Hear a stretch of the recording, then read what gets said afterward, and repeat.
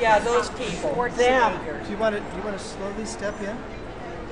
Slowly step in. Okay. Now you can see your energy going towards her. See how your energy is interacting. Okay, reach. Just reach your hands out and project energy like that. And you see.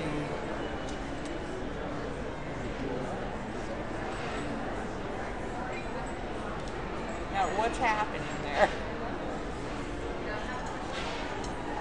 Well, you see your you see your healing energy going Oh. to her. does? You see the healing energy?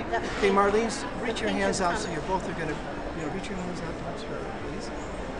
Okay, you can step a little closer if you want. Go ahead, put your hand. What am I? Tell me what I'm trying to do. Well, you're both projecting energy at each other. Oh, Actually, Marlene Look seems at the violet that's coming out of your Get the hands. hand I down. asked the hand.